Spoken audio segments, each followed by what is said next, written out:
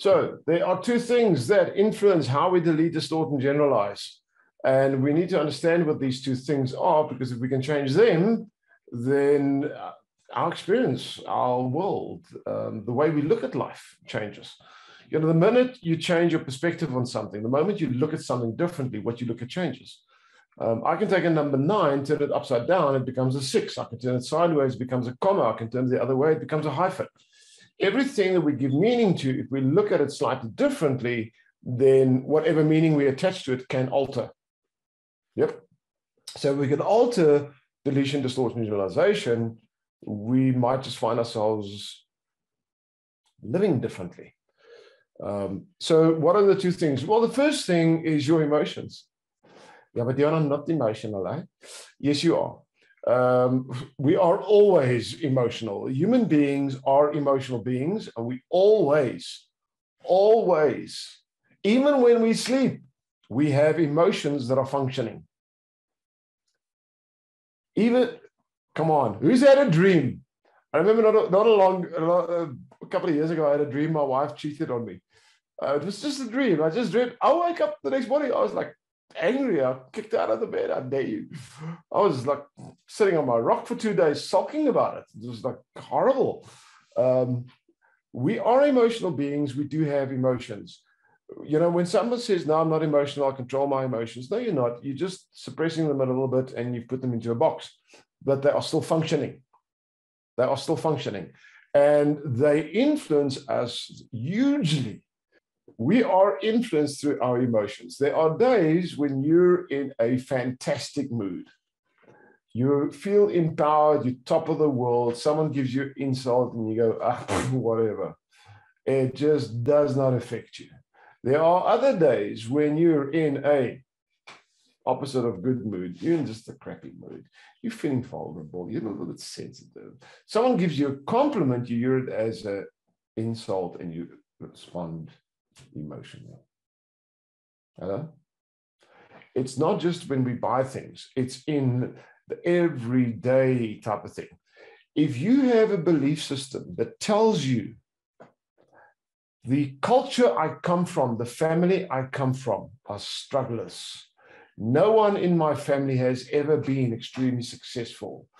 That blueprint of thought pattern is ingrained in your mind that influences your state. When opportunity very often comes a knocking, your state rejects it. It's not probably a scam. It's not going to work for me. You know, these people, they're so lucky. They're born with a spoon in their back. I mean, the golden spoon, and I'm not, uh, my spoon came out the wrong place. I don't know. It's a broken wooden one. Um, this is not for me. And your emotional state decide to reject or to grab things. Uh, we are state driven. So, rule number one we need to learn how to allow states that serve us and how to replace states that don't serve us. There's no good state or bad state. States are not right and they are not wrong. All states will exist and all states need to exist for the human brain to comprehend other states. In other words, you need to be able to understand what sadness feels like for you to understand and comprehend what joy feels like. You need to have sometimes uh, your heart broken to truly appreciate love. You need to be thirsty to appreciate water. You need to be hungry to appreciate food most states, most concepts that the human brain comprehends, grasps, understands, exists in duality. It can only understand up if it understands down. It understands light if it understands dark. It understands in if it understands out. It understands love if it understands rejection. It understands joy if it understands disgust. It understands anxiety when it understands bliss. It understands depression when it understands extreme happiness and joy. It needs both to comprehend the other. Does that make sense? So when a state enters you, when you go into a state, it's not a good state or a bad state. The question is, does this state serve me? It always serves you because it gives you the opposite. But Do you want to entertain it? Do you want it to hang around? States that influences negatively are aggressive states, angry states, sad states, depressed states, anxiety states, fear states. These things are natural. We all have them. But what people do is they get fixated on these states and they feed these states unknowingly. I'll give you an example fear and I, I, mentioned this earlier, you know, public speaking, a lot of people have got a fear for public speaking. Who's got a fear? You've got to stand in front of a thousand people and talk. Who gets a bit nervous and anxiety and fear and everything else? It's one of the greatest fears in the world. But do you know that the greatest public speakers in the world also have the same fear?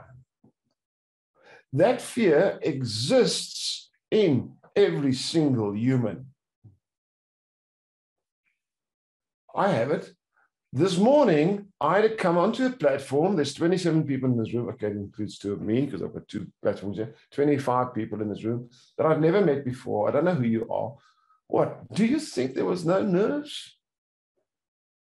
Oh, I wonder if these people are going to like me. I wonder if it's going to be okay. I wonder if they're going to shout. At, I wonder, I wonder. Of course, it's natural. What's the difference? What do you entertain? So I had two choices. Number one is the one is, is it going to be okay? The second one is, oh, opportunity to share my passion, opportunity to share my knowledge and my experience, opportunity to transform, opportunity to meet gloriously beautiful, amazing new creatures that I've never met before, opportunity to communicate, to connect, to make friends, to allow people to make friends with themselves. Which one of those two states do I focus on and do I entertain? That's the one that starts to control what I delete, what I distort, and what I generalize. You see, my state is this is a phenomenal opportunity to teach. So, what is my state doing? My state is deleting a lot of stuff, but allowing me to notice when someone goes, aha. My state allows me to notice when people are seeing new thoughts, having epiphanies. Now that feeds what? That feeds the positive part of my state. Now I get enthusiastic. Now I want to do more of it. Now it becomes fun and enjoyment. Yes? If my state was, I wonder if these people are going to enjoy it. I wonder if they're going to like it.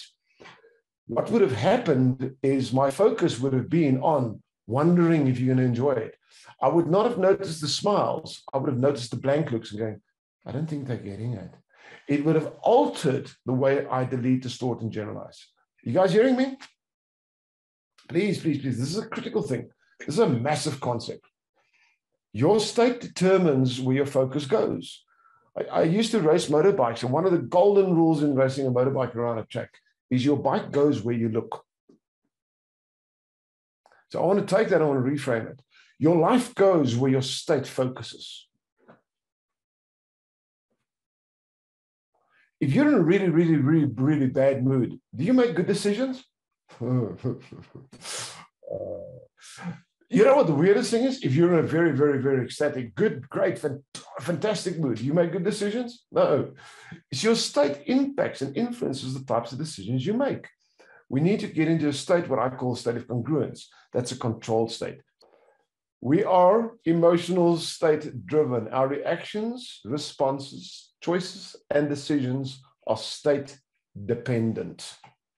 When, ladies, when you go into a shop and you want to buy a piece of clothing, part of your buying decisions are based on the emotional state that you believe wearing that clothing will give you. Gentlemen, when you go buy a car, a lot of your decisions is based what are you going to feel like if people see you driving that car that motor vehicle? Come on now. We are state driven beings. Visit actionfactory.co.za to find out more. Change your mind. Change your mind